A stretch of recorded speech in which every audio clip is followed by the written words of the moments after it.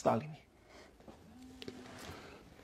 ეხლა ერთი სიტყვით და ერთ საუბარში ძალიან ძნელია ჩავდიოთ სტალინის ფენომენი და ისე რომ ყოველ სიტყვას აქვს მნიშვნელობა, როცა ასე დიდ ადამიანზე ვლაპარაკობთ.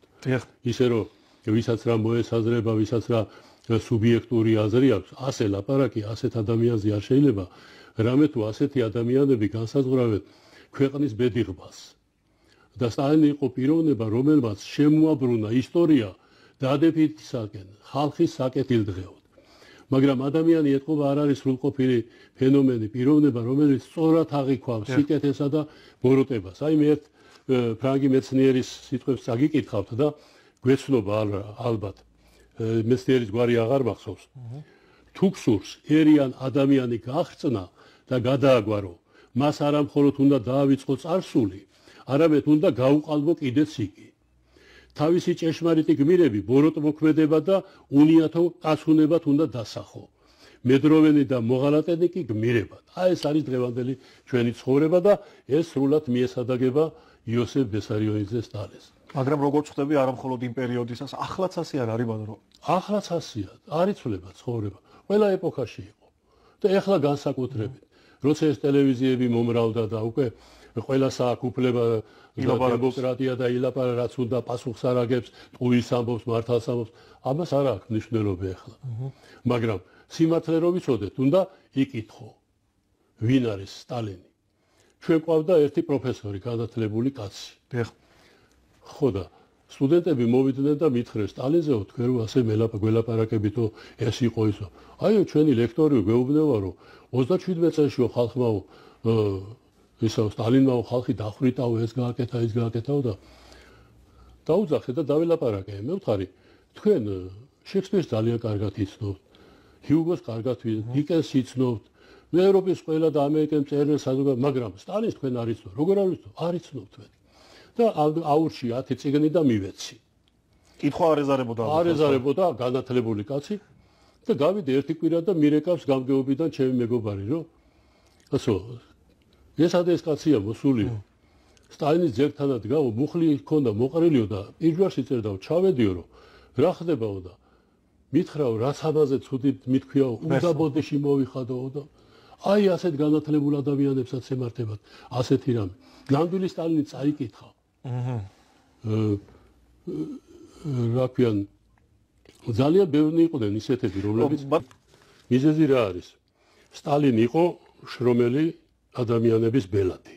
აჰა. ებრძოდა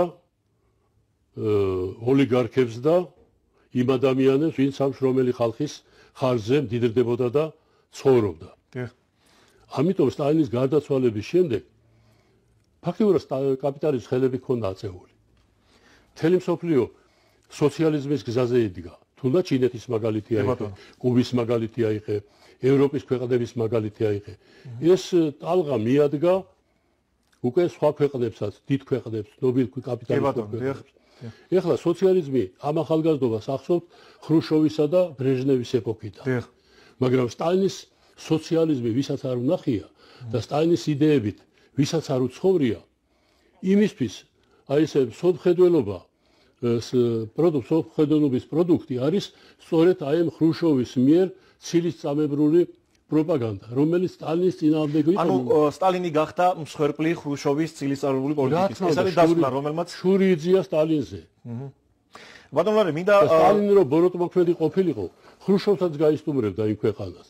მაგრამ 37 წელში არც ერთი ბრძანება, არც ერთი ბრძანება არ არის დაწერილი სტალინის ხელმოწერით. აი კოტე מחარაძე, რომელმაც გადაიღო ნამდვილი სტალინი თეატრში რო დადგა. კი ბატონო. არქივში შევედი როგორც გამოუსწორებელი ანტისტალინელიო და გამოვედი არქივიდან როგორც მეხოტბეო. არქივში ხრუშოვმა ბევრი გაანადგურა, მაგრამ ყველაფერი ხო ვერ გაანადგურა. ბევრი დარჩა. სტალინმა გადაარჩინა 37 წელს უამრავი ადამიანი, მათ შორის შალონუ ცუბიძე, რომელიც გამოიყანა ციფრიდან და ვეფხისტყაოსანი ათარგმნინა. იგივე galaktion tabidze ეტაპიდან ჩამოსვა. galaktion tabidze მოახერხა და წერილი გაუგზანა და სტალინის ცალკე ფოსტა ჰქონდა კიდევ. და სწოლა რომ სტალინის ფოსტა მოვიდნენ მიიყვანეს და დაუძახეთ დღეს მეტი ვერავინ ნახეთ დასაჭერიო. და უამრავი მაგალითები. ბევრი გლეხები ვიცი სოფელში რომ მუშაობდი. იტყოდნენ ხოლმე რა სტალის წერილი მივწეროთო და იქიდან დადებითი წერილი მოვიდაო და გაანთავისუფლესო ერთი ენუქა იყო გორში პოლიციის უფროსი.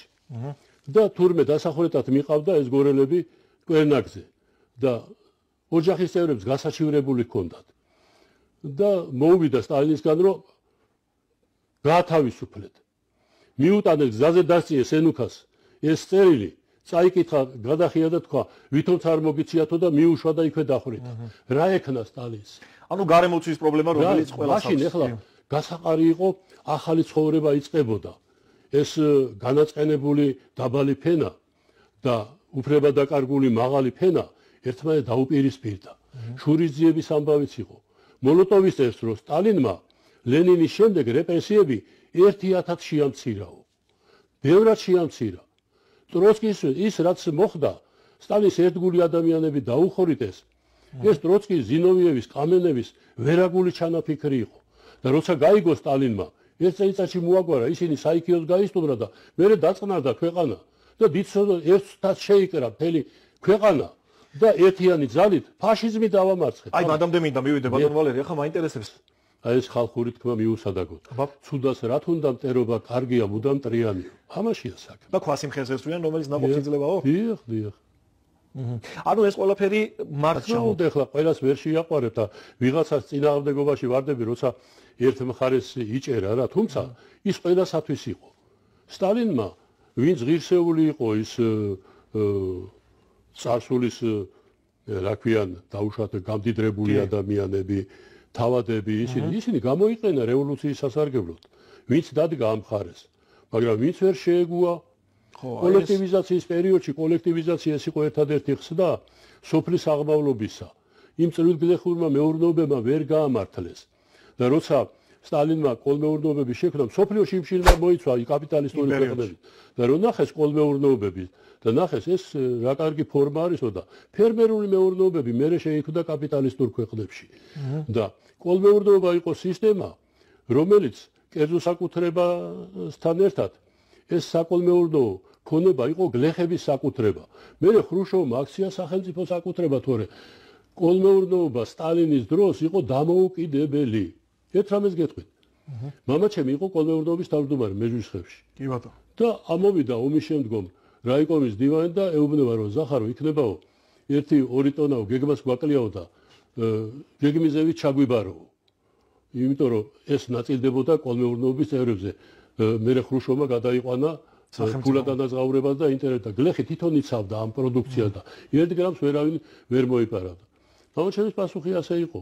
შევეკითხებიო კრებასო და რას მეტყვი ანუ და ახლა იმდენი ავტორიტეტი კი ჰქონდა აუხსნა ხალხს რომ ესია საჭირო და აუწიეს ხელი და ის 2 თუ 3 ტონა დაუდეს და გეგმიზე ანუ ერთ პიროვნულად კი არ გააკეთა კითხა კრებას ეკი კრება წვეთდა ყველა და აქ მარტო სტალინთან არა.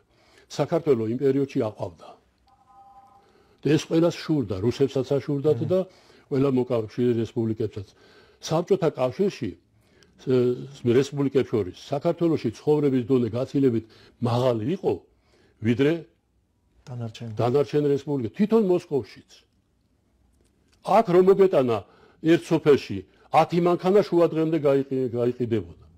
გლეხი არისო მე 20 წელი მეურნეობის დირექტორად ვიყავი, ვისაც 9 მილიონზე ნაკლები არ ეკონდა ბანკში შეტანილი. მაგრამ შევადნაძემ როცა აი ყალბი გაორმაგება შემოიტანა და საწყალმა გლეხებმა შენახული ფული შეიტანეს და მე აღარაფერი მისცეს დღეს ოფელი დარჩა მშიერი. რა შუაშია სტალინი? როდი სტალინი გარდაიცვალა? იმის შემდეგ 70 წელიწადი გავიდა, კარგით რა. ბატონო ვალერი, სოციალური დრო სტალინის დროს სიმკაცრე იყო და არა რეპრესიები. ანუ გჭირდება სიმკაცრე ქვეყანაში, კანონის დისციპლინა იყო. წესრიგი იყო ხალხს მოენატრეს წესრიგი და დისციპლინა კი ბატონო დემოკრატია დამოუკიდებლები ვართ მაგრამ 30 წელიწადია სიკეთე ვერ დავინახეთ. ვისაც რა უნდა იმას აკეთებს? ყველა გახდა ხელმძღვანელი. როგორ ქართულ მithumetes საქართველოში. აი დაუკვირდით როგორი ტრადიციები გვაქვს. სუფრაზე თამადა იყო წამყვანი. თუ კარგი თამადა იყო სუფრაც გემრიელი იყო. შინაარსიანი იყო კარგი იყო. კარგი შედარება. თუ სუსტი თამადაა და ისე რა ყველა თავის ნებაზეა არაფერია, იტყვი, რო უთხრა იქეიფეო, არ მიქეიფეო. მაშინ ცეკვა თავის დროზე იყო, სიმღერა თავის დროზე იყო, რეჟიმი იმ სტანდარტის მიხედვით იყო, ქართული ტრადიციების სტანდარტის მიხედვით იყო кейფი და ეხლა სუფრა-სუფრას აღარ ეკა. ხო. ეხლა სახელმწიფო არ მერიდება ამისი. სახელმწიფო ჯერ ვერ ჩამოვაყალიბეთ. როცა საბჭოთა კავშირის სხვა მოძმე რესპუბლიკებმა გაცილებით დიდი ნაბიჯები გადადგეს 70 წლის შუაში. ეხლა კარგზე, კარგს აღარ ამბობენ, ცუდი თუ დაინახეს იცოცხლე რას ზეიმობენ? ხო რას ზეიმობენ? აი მანდ გვაქვს პრობლემა. ამაშია უბედურობა. ქართველებში პატრიოტობა რო იყო არც ერთ რესპუბლიკაში არ იყო. ცრემლები მომდიოდა როცა ჩვენ წინაპრების გმირებზე ლაპარაკობდნენ. ერთ რამეს დაუკვირდით ხალხო. აი იმ პერიოდში სტალინის ეპოქაში საქართველოს ისტორია უმაღლეს დონეს სტალინის რეკომენდაციის ისწავლებოდა და ახლა? ყველა გმირული მოვლენები რაც იყო საქართველოს ისტორიაში შეიტადეს. და ახლა თუ რამე სისაძაგრია, ისინი შეიტადეს. სტალინის ეპოქაში დაიდგა დავით აღმაშენებლის ძეგლი, შოთა რუსთაველის ძეგლი, ვახტანგ გორგასალის ძეგლი, სტალინის რა ქვია, გიორგი სააკაძის ძეგლი. ფილმოგრაფია აიღეთ, ქართული კინემატოგრაფია. სულ ილიას აკაკის ვაჟას, გოგებაშვილის ასეთი ძეგლები. 30 წელიწადში ვიში ძეგლი დავდგით. ერთი დავით აღმაშენებლის ძეგლი გამოვიტანეთ ხალაგარეთ და მეორე ავაფეთქეთ მემორიალი, გმირთა მემორიალი ავაფეთქეთ. ცურტაველის ძეგლი სამხრეთ საქართველოში ბალახებში და უბედურობაშია. აი დღეს სურათი ვნახე, საცოდაობა დაზიანებული და რამე. წინაპრებს აღარ ავცემთ პატივს. საქართველოს ისტორია იმ ღირებულებით აღარ ისწავლება. სკოლებში როგორი ღირებულებითა და ამიტომ არა მარტო საქართველოს, სოფლიო პიროვნება და ქართველებმა და განსაკუთრებით გორელებმა უნდა მიამაყოთ ეს მარტო გორელების კუთვნილება არ არის უკვე. არც საქართველოს ეს არის მსოფლიოს კუთვნილება და ჩვენ რო დავკარგოთ, მსოფლიო არ დაკარგავთ. ეს არის განსაკუთრებული ფენომენი და მას შესწავლა სჭირდება. ამოუცნობი კი არა, სტალინი ამოუცნობი კი შეუსწავლელი პიროვნება.